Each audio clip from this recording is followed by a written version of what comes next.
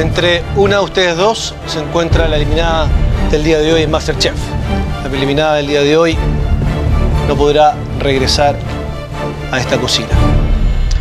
Y hoy día deja la cocina de Masterchef para siempre es María José. Camila, puedes volver a tu cocina.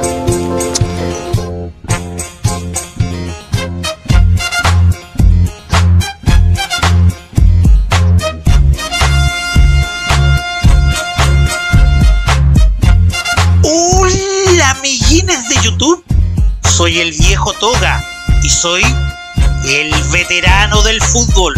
Y hoy se terminó el grupo B y así quedó. Brasil primero, la selección de Perú segunda, la selección Colombia se quedó en tercer lugar, la Tri Ecuador se clasificó en cuarto lugar y Venezuela fue eliminada. Estás eliminado. Vamos ahora a revisar los juegos disputados hoy. Venezuela 0, Perú 1. Vamos Perú. Deben ganar. No creo que una selección que le ganó a Colombia se va a dejar empatar por una Venezuela muy mala, eso sería humillante la verdad. Así que agarlo todo. Kevin Cisneros Sarche. El resultado fue como esperaba. La encuesta de mi canal indicaba que Perú iba a ser el ganador de este partido.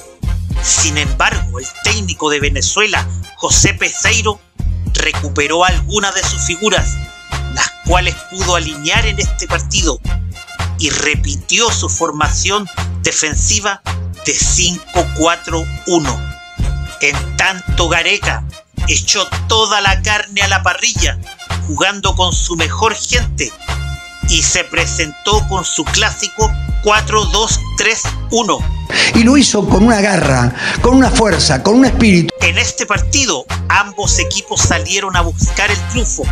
Desde el principio, el extremo del Mineiro, Savarino, envió un tirazo que le costó mucho atajar a Galesi.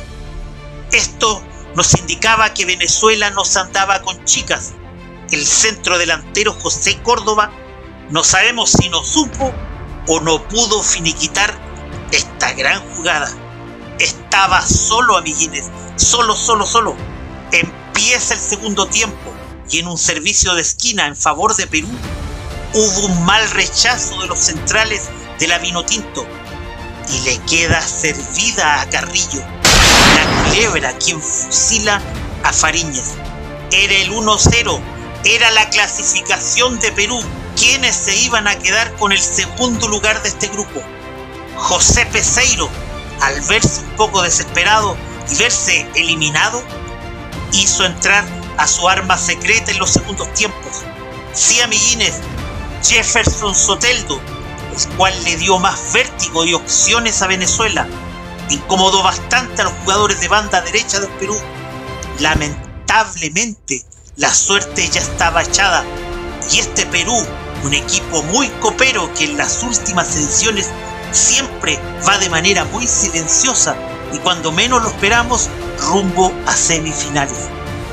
Invito a todos los hinchas de la Blanquirroja y a todos en América a comentar qué les pareció este partido y este segundo lugar en donde esperan al tercero del grupo A. Y si los astros se juntan, este podría ser Chile, reviviendo nuevamente el clásico del Pacífico. Este. Brasil 1, Ecuador 1.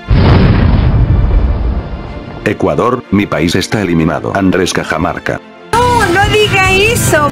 Llegamos al juego en donde la Tri Ecuador necesitaba sumar sí o sí, si es que quería llegar a cuartos de final.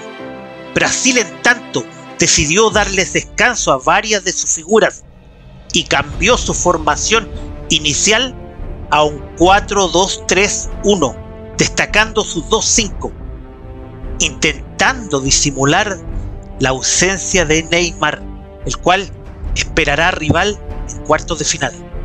En tanto, Gustavo Alfaro se presentó con un 4-4-1-1, y planteó un esquema defensivo con opción de salir rápido por bandas.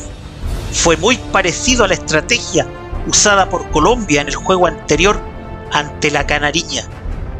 Empezó el partido y Ener Valencia, que fue uno de los destacados de este juego, estuvo a punto de sorprender a Allison.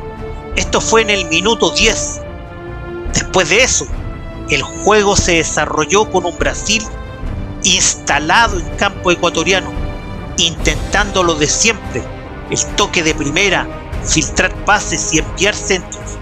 En tanto Ecuador, en cuanto recuperaba el balón, era muy impreciso y perdía fácilmente los mano a mano. Le costaba mucho salir, le quemaba la pelota prácticamente. Llegó un momento en que a Brasil ya no le salía nada, así que recurrió a otro de sus grandes recursos, los balones detenidos. Y es así como Eder Militao le daba la victoria parcial a Brasil a través de un gran cabezazo y estaba dejando a Ecuador eliminado. Lo curioso de este gol es que el gran central del Real Madrid le ganó el cabezazo a cuatro jugadores ecuatorianos. Este fue un gol de una potencia increíble. Empezando el segundo tiempo, Ecuador empareja las acciones y con una gran habilitación de Ener Valencia de cabeza, Ángel Mena sí a Ángel Mena, mi jugador favorito del Ecuador, fusilaba a Allison y marcaba un nuevo momento en el partido. Después de eso vinieron varias cargas de Ecuador, que con más ganas que técnica estuvo a punto de dar el gran golpe. Aquí es cuando uno se da cuenta que para ganarle a Brasil no importa que esté Neymar o sin Neymar, se necesita sobrepasar los propios límites de cada selección. Es un equipo demasiado imponente y fuerte en todas sus líneas. En este juego vimos su gran capacidad defensiva, la cual Ecuador no pudo superar. Aún así, fue un regular partido de Brasil, que está esperando al cuarto lugar del Grupo A. Y muy buen partido de la Tri, quien espera redimir sus recientes pecados y volver al nivel que todos le conocemos. Espero sus comentarios de este super partido y lo que dejó la clasificación de Ecuador a cuartos de final. No olviden reventar el like este video y te dejo estos dos super videos si quieres entretenerte de verdad. Recuerda que con el viejo toga la diversión está asegurada. Saludos, amiguines de YouTube.